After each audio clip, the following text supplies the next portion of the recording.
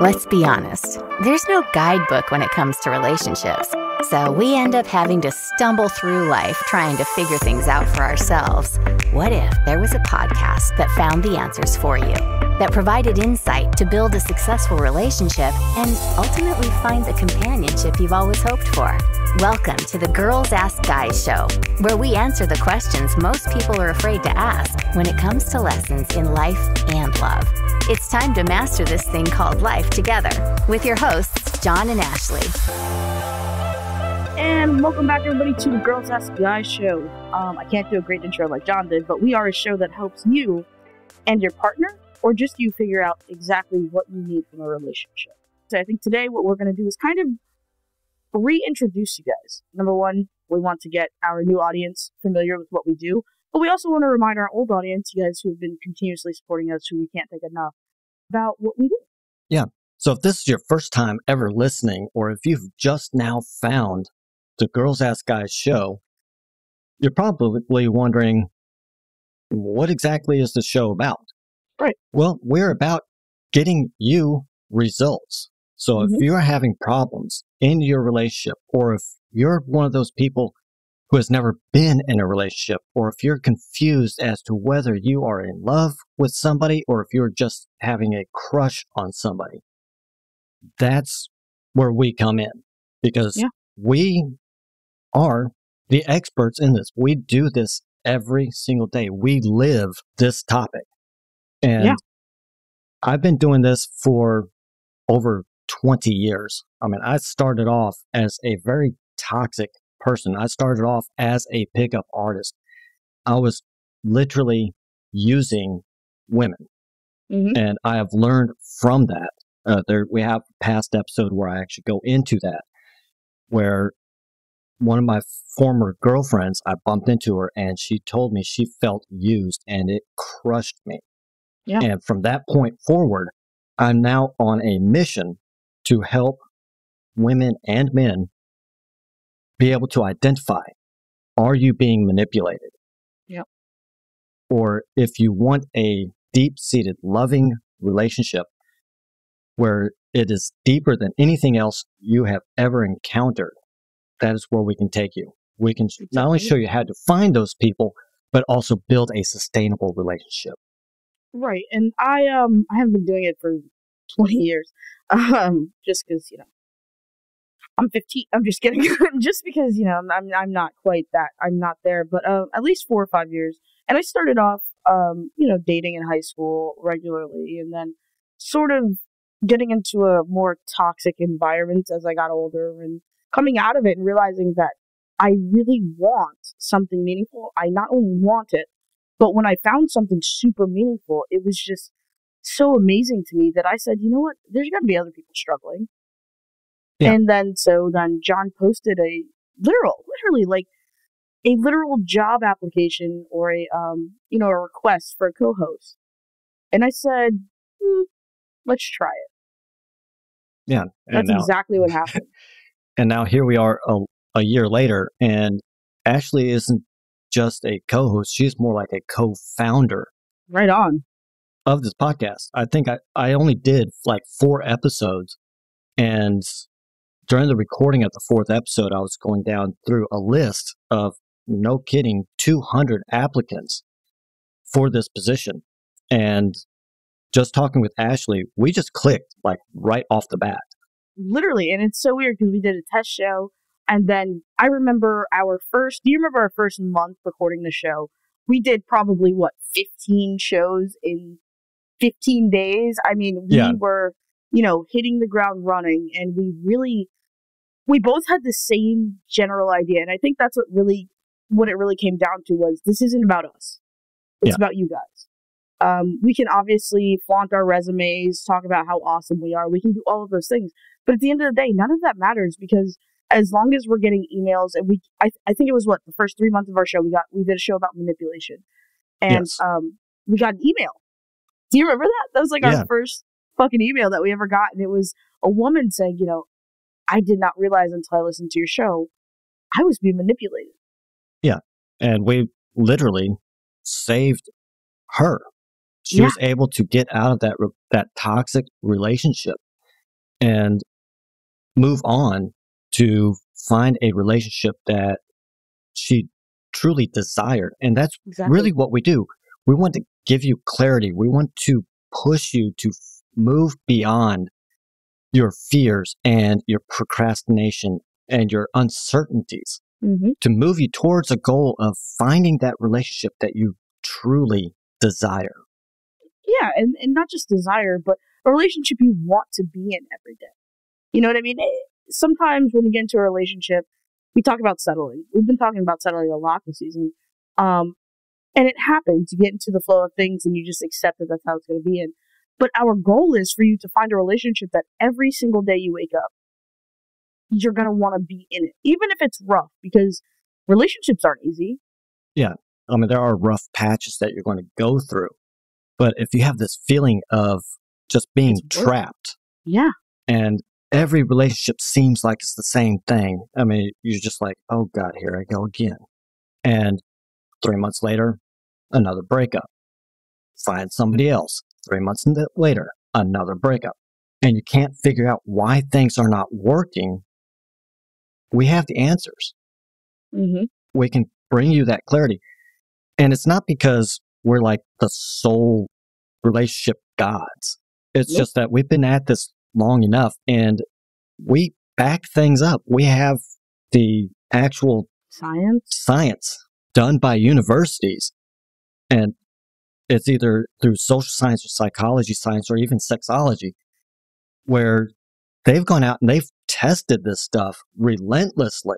Mean, Yep. I've, we have a list of over 1,000 different scientific papers that are written that we can refer back to and go, yep, tested it. It works It works. we had a show on kissing and I pretty much put that whole thing together and I've tested it amazingly enough. and my gosh, when when I'm actually able to find a person that I care enough about to even do that type of kiss with, it is magical when you feel that person actually melt in your arms. And Yeah. when you're done, when they look at you, you just know. you know, you can feel it. Yes. They can feel it. There's this, you know, Right. we, we, we like to joke about It's- rom-coms it's hard to a lot. describe. Like we like to joke about rom coms a lot, but there's one thing that they capture that is absolutely true, and that is that that look that people give each other. That look where the camera's sort of zooming into both of their eyes, and their eyes meet, and it's like you're just you're not even searching for anything because you know you've already found it. And I think that's our end goal for almost everyone who listens. Now, don't get me wrong. If you're listening and you're like, hey, I'm into short term relationships, we make sure that we guide you into a healthy short term, that you're defining everything. But we make sure that whatever sort of relationship you're looking for, anything very much short of abusive, because we don't, we No. don't, No, we don't do abuse, we don't do manipulation. no. And that's probably the biggest thing. Uh, we're not one of those companies. We're not a matchmaker. We don't, we're not going to match you up with somebody else. Right. We're going to show you how to find that somebody else naturally, authentically, and organically. And that's where a lot of companies fall short because we have seen, and I've actually been with. to some of these other courses, Yeah. and you sit there for eight hours or 12 hours listening to this person up on stage, and you feel good. You feel like you can go out and you can conquer the world, and then you step out into the world, and nothing that they said works. hmm The reason for that is because it's theory Exactly. and we don't do theory. Now we're going to explain to you why it works and why you want to take the steps that we recommend in the order that we recommend them. Then we show you how to actually do it. Because if you're not Yeah. taking action, Well, well what are you doing? yeah, what are you doing? You're still going to be stuck and you're not going to feel like your life's moving forward. Every time you go out and you see life is just passing you by and you just, you want that relationship, you want that relationship, you want that, it makes you feel anxious because you're going to parties, you're going on vacation, you're going to Christmas vacation and you're meeting Right. your family and your brother, your sister, your friend, they're introducing you to their new girlfriend, their new boyfriend, they're engaged, there's a wedding announcement, and you're sitting there going, what's wrong with me. Yeah. You don't have to do that. You No. don't have to feel anxious like you're going to go up and you're going to talk to somebody and would you like to go out and not only are they laughing at you, but their friends are laughing at you and they're going, why, why would you even dare you. think? All right, how dare you? Yeah. You don't have to worry about that. We have different ways of actually showing you how you can broach that subject naturally and organically.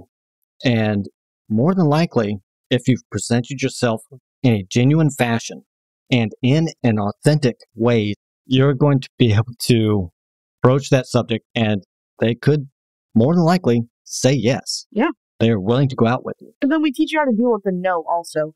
Because a lot of times, a lot of the reason people are afraid to keep getting back out there is because they feel like, I'm getting no, I'm getting no, I'm getting no. And that's okay because nine times out of ten, the no has nothing to do with you. Yeah. It's not most you. of the time it yeah it's not you it's it's them and if it is there's you, some we'll correct yeah. that.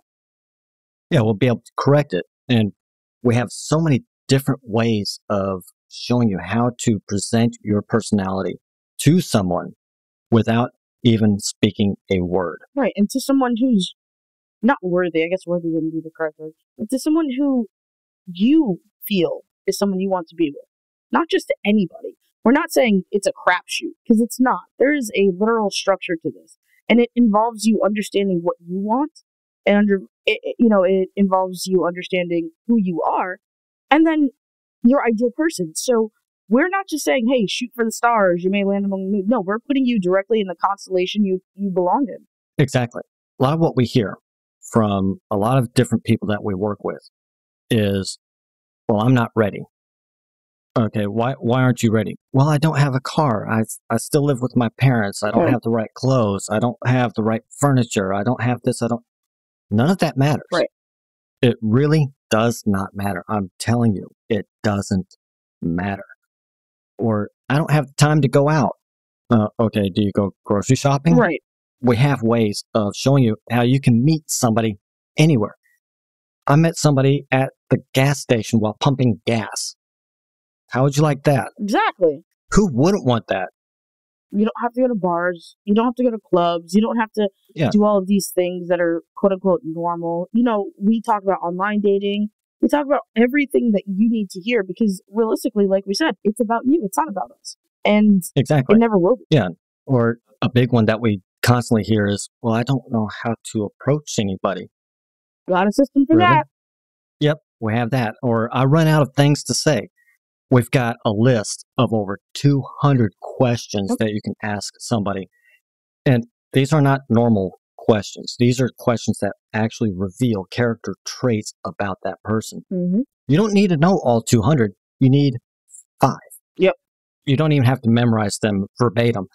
You just have to know what kind of answer are you looking for. Exactly. That's it. Uh, I don't know the indicators of interest. I don't know. I don't know if they're interested in me. Can figure that out for you. The way that we have it is it works universally. It doesn't matter what country you live in. Yeah. I've traveled to many different countries, and the, to know that somebody's interested in me is universal. It is very much so. You can feel it. It's a universal feeling. It's like music, actually. I would like to say a good relationship is like a symphony. Yep. Um, and we teach you how to write that symphony and how to make sure that people love it. Exactly. Uh, another one that we get quite often. I'm not good at sex. Okay, people. Um, you don't have to be a sex god. You just need to know Right. really two things.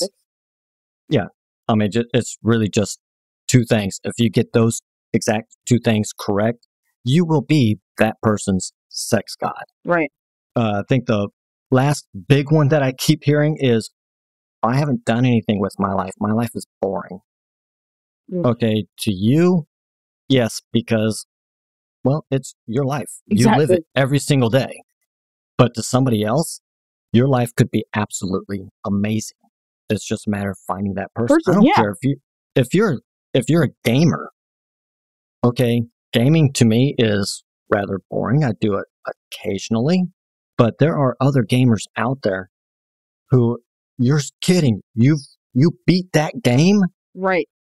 Or it may be that that person has a super adventurous job, you know, like in EMT, and they just want to slow it down. And so meeting a gamer, meeting someone who's quote unquote just a gamer, for them is exciting because when they come home, they don't have to do too much. Yeah. They're not having to think about being an EMT. Right. I used to be a cop. A lot of people thought that was the most amazing job in the world. Yeah, to a degree, yes. Sure. But 99% of the time, I was bored off my ass. I'm, I'm sitting there in, out there in the cop car and I'm just like, man, I wish a call would come in. I mean, right. uh, because I'm, I'm tired of driving up and down the same roads in my patrol area. I mean, that's it. Uh, but to a lot of people, they're like, that's amazing. I would love to do that. I mean, it's such an honorable position.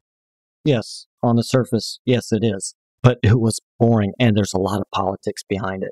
Oh, bureaucracy, my favorite. yeah, so that's basically what we do. I mean, in a nutshell, and then we always take in write we always take write in questions. So whenever you want to email us, you know, you head over to our website, and then you just kind of email us and you tell us, or you ask us, and we make sure we address it. We make sure you get the copy of the show. We make sure that you are part of this because this would be nothing without your support. Literally, and when I say nothing, I mean like literally nothing. Literally. yeah. like pointless. Yeah. So that's pretty much what we do. If you are that person and you feel stuck, like your romantic, everything else in your life is going pretty much in the direction you want, but your romantic life, your relationship life, whether you're single, married, or in between, is not going in the direction you want, we have solutions for that. Mm-hmm. Now, I'm not saying every single solution works for every single person because every person is different. If you're the person that has never had a relationship, I recently just talked to a person, they're 36 years old and still a virgin, wondering what the hell's wrong with them. Nothing. There's nothing wrong. You just haven't found the right person. Right. And we were able to go through that and point them in the right direction. Yep.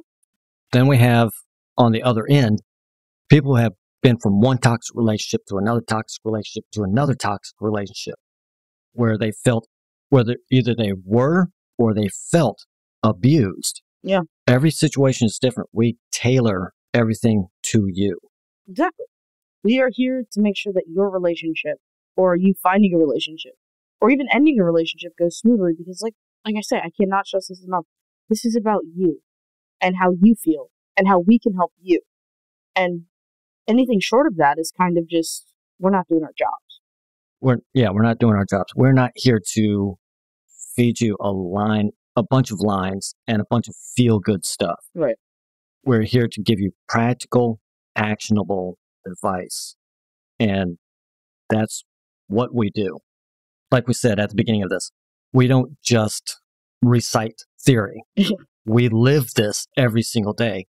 I have like three or four different girls that I'm talking to at the moment. I have one that has really piqued my attention. Uh, not going to lie. I'm into her. Yeah. Okay. There it is. I'm into her. Ashley has, has a relationship that she's been in for Year what, now. just a year now Yeah, that now. she's going through. And I we're would say still dis- going through. well, they listen Okay, to it's this. still I would say going through. Yeah, no, no. Very happy. Very happy. yes. I mean, we both have our, we both have these amazing relationships that we're in. And I date rather casually, but I have until I find that person that I really want to commit to and they want to commit to me. I'm, and Ashley, ha- I'm a Ashley's much more monogamous. monogamous. Yes. um, I date to find love, and I love it. It's really fun. It's exhausting at um, its weakest points, but it's still something I find worth it. And so that's really, you know, that's kind of the counterpoint to bring to the table. I think a lot of people, when it comes down to it, they try and find a co-host that's exactly like them. That's pointless. When we have Yeah. we have two totally different life experiences, two totally different ways of going about things. And through that, we can come to an understanding that there are right and there are wrong, and there are just ways to do things. Yes. We want to be your resource for finding out the answers or at least getting the direction you need to go in to find the person that you really want to build a life with. And being able to sustain that relationship. That's where a lot of companies they show you how to get the person, but they don't show you how, How to, to it. sustain. Yeah, how to keep them. So we're here to help you keep everybody, or not everybody, but anybody you want, um, healthily. Obviously, not in a controlling or weird way, just in a way that makes sense for everyone. And that's that's what we do. Yes. Because, like I said, it doesn't matter where you are. You could be at the laundromat doing your laundry. Look at a person, start a conversation with them, and they go, I'd like to go out with you. Mm-hmm. And the majority of the time, they'll at least be willing to at least give you a chance to show them who you are in a genuine and authentic way. Absolutely. There you have it.